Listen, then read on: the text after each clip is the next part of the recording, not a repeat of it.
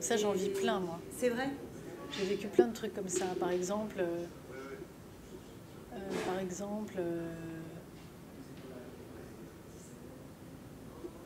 des choses où je me dis, par exemple, des gens qui ont disparu. Et puis, à une certaine date, il m'arrive quelque chose. Je pense pas du tout à la date. Et je m'aperçois que c'est la date de l'anniversaire de cette personne qui n'est plus là, par exemple. Et je suis persuadée que c'est pas un hasard, en qu'il y a un truc de. ou euh, euh, des événements très très importants qui. où il y a comme un message qu'on m'envoie parce qu'il y a une phrase qui va résonner avec une phrase qui m'a été dite par cette personne qui n'est plus là. Et cette phrase va m'être lue là devant mes yeux euh, à l'instant où il y a cet événement si fort dans ma vie, par exemple. Ouais, donc des, un peu des connexions. Des connexions euh, entre le- les gens le- le- qui- Alors ça, il y a des connexions entre les gens disparus et des situations très fortes, Ouais.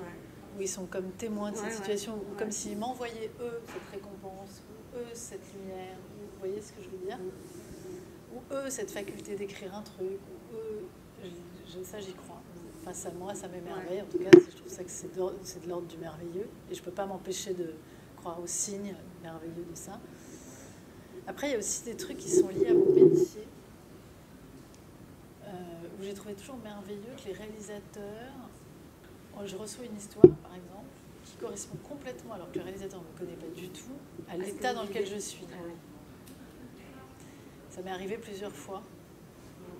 De, de, de, de- J'aurais même peur, j'avoue intimement que j'aurais peur de jouer euh, une femme qui meurt dans un film parce qu'il y a eu des choses tellement. euh, en regardant, si je m'attarde, les films que j'ai pu faire, je les, raccroche à des événements de ma vie. Ils m'apprennent, ils me rappellent les événements de ma vie.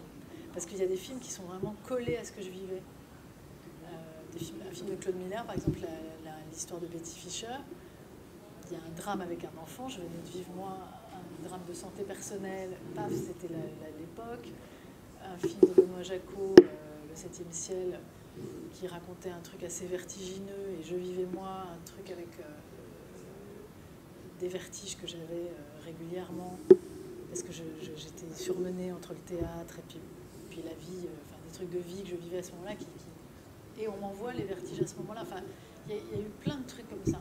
Parce que on doit évoquer, je pense que les réalisateurs nous regardent, regardent ce qu'on fait, regardent qui on est, et on doit évoquer en eux Mhm. des choses qui pressentent, des choses qui leur évoquent une idée. Ou un- Ouais, Mais ça m'a beaucoup frappé. En fait. c'est, c'est presque une réponse. euh, Ouais, à c'est comme si, quoi. ouais, c'est comme s'ils lisaient en nous, enfin quelque chose.